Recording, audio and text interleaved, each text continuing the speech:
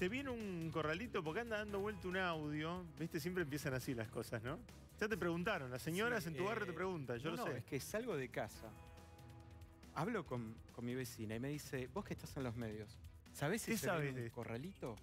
Eh, y fue Vox Populi durante todo el fin de semana este rumor que simplemente nació en las redes sociales y digamos empujado desde ciertos sectores, ¿no? Yo, yo les traje, eh, digamos, primero para explicarle y ser pedagógico en estos temas. En el año 2013, Associated Press fue hackeado su Twitter y desde Associated Press lanzaron un tweet que decía que había volado la Casa Blanca, que ha- habían habido dos explosiones en la Casa. Blanca, que Obama estaba seriamente lesionado. Y ustedes miren ahí, este es un título del Washington Post. Fíjense cómo cayeron las acciones inmediatamente después de que Associated Press tuiteara eso, que no fueron ellos, que fue un grupo de hackers sirios. Y fíjense cómo algo virtual Un frente corralato real, claro. ¿entendés? Puede impactar en una economía totalmente real. Obviamente después los mercados se recuperaron eh, y Associated Press informó que eso había sido un hackeo. El hackeo no es solamente porque alguien puede tomar tu Twitter, sino porque gente puede hacer lo que nosotros decimos a veces que es ingeniería social o hackeo social, que es hacerle creer a la gente que algo va a ocurrir en esto. Eh, entonces, ¿qué es lo que pasó durante la semana? Eh, desde el jueves con una noticia que era real sobre el tema de las LELIX, em- empezaron a circular información de que esto podría terminar en un corralito. Ahora, vos fíjate, Julito, discúlpame que, me meta ya y me introduzca ya en lo- por lo pronto en la parte que a mí me compete, que es lo económico. La noticia que fue escrita por Ezequiel Orlando, que es un periodista, que está preparado, que estudió y que además tiene la capacidad para hacer un análisis económico como todo economista y uno puede coincidir o no, era real, era precisa y si uno la lee en el texto de la noticia que él escribe, no figura la palabra corralito.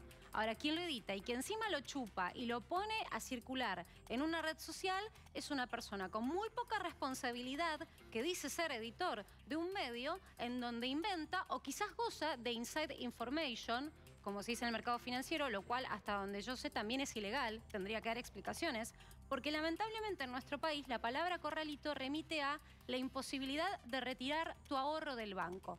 Eso no está ni por cerca de suceder. Y si vamos un paso más adelante, en la memoria más cercana de los argentinos, el corralito está asociado a la imposibilidad de retirar divisas, de retirar dinero extranjero, dólares, euros de los bancos. Hoy la realidad es que la gente no se puede ende- endeudar eh, con dólares. Entonces, el sistema financiero hoy no está dado para que eso ocurra.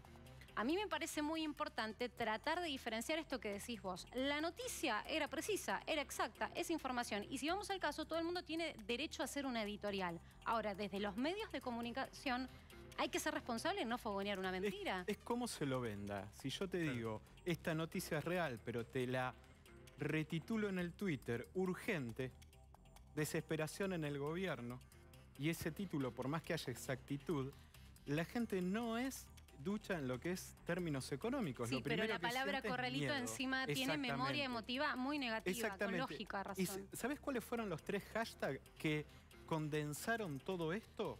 Corralito 2019, Sacala del banco y Argentina explota. Entonces, Hay todo... una indicación directa, hay una instrucción ahí, ¿no? Claro, Sí. mira, Es este, este es uno... Yo banco, quiero claro. decir que también es el mismo señor que se, que se señaló como el creador, y lo digo porque eh, también lo dicen hasta economistas kirchneristas, se señaló como el creador de un paper que circuló en el mercado financiero y que en su momento también hizo circular eh, este paper en lugares muy importantes de- del mercado financiero y se asoció justo al periodo en el que creció el riesgo país. Y si el daño se piensa que es eh, justamente truncarle una elección a este gobierno es muy equivocado, porque quien sea que tenga que asumir en el próximo gobierno, si se genera una corrida cambiaria con noticias falsas, si se genera una situación de inestabilidad porque a la gente se le inyecta un miedo que hoy no existe, Bueno, bueno, pero esa mirada en la